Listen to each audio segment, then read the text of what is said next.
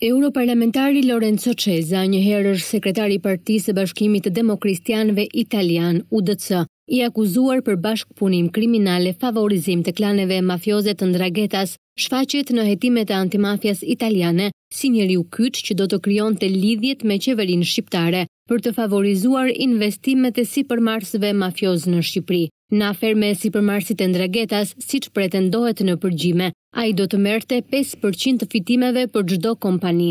Në përgjimet e antimafias italiane të datës shtatë korrik dy mijë e shtatëmbëdhjetë, zhvillohet një bisedë në restorantin Tullio në qendër të Romës mes sekretarit rajonal të UDC, Francesco Talarico, e politikanëve Tommaso Bruto e Saverio Bruto dhe sipërmarrësit Antonio Gallo, i cili në pjesën e parë të përgjimeve fliste për pagesa të njëzet përqindëshit në formë ryshfeti për ndërtimet në Tiranë. Kjo është e rëndësishme. E, është gjë tjetër kur Çeza të krijon një kontakt në Shqipëri. Atje nuk është si këtu. Një ministri në Shqipëri i jep. Uh, korrupsion total. Dreq, po. Treg i lirë. Po, atje nuk e kontrollojnë. Atje qeveria të thotë, ti duhet të paguash një mijë lekë taksa në vit e pastaj bën ç'të duash, por duhet të paguash taksat aman. Pastaj bën ç'të duash. Po, por ata kanë një bast. Sa vjen njëqind mijë, jo kaq janë të tuat, është legale.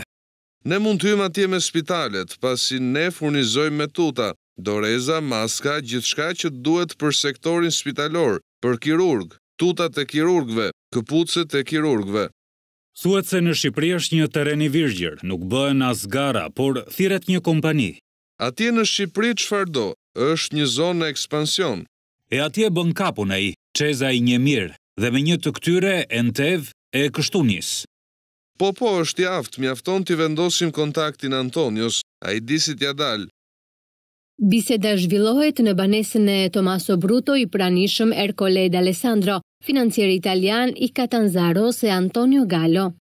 Kemi këtë projekt në Shqipëri, në sensin që e kemi gjetur strukturën. Kemi bërë kompani me Saverion e për të përshpejtuar punë duhet të blejmë e të porosisim mallin, jemi në një pikë të mirë, kemi një person shqiptar që thirret menaxher, që ka eksperiencë e administron gjithçka. Unë kam lidhje të mira atje, me njëzet e dy qershor shkoj e kthehem me njëzet e pesë. Për tenderin nuk ka problem, shkojmë e firmosim, i merrni atje e i ndajmë. Shoqërinë e keni bërë ju, Duhej bërë deri në një farë date, por nuk ishte problem, ndryshe nuk hapte dot më njëzet e dy. Atëherë i thuaj djalit tënd që më njëzet e dy të bëjë inaugurimin e të jetë patjetër aty. Me njëzet e dy, në gjashtë e dyzet në mëngjes, nisem nga Lamezia Terme, në shtatë e pesë mbërrij në Fiumicino, e në nëntë e njëzet e pesë për në Tiranë, e mbërrij në dhjetë e pesëdhjetë. Ministria më ka bërë këtë biletë. Në dosjen hetimore të antimafias italiane nënvizohet gjithashtu se sipërmarrësit Saverio Brutto e Francesco Talarico synonin të rikompensonin Lorenzo Cesa me pesë për qind të aferave të tyre që falë zyrave të tij do të ndaheshin.